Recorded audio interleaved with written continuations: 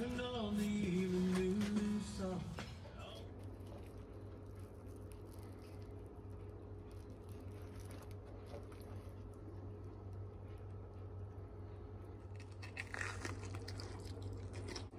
Mmm. Mm-mm. That is so good.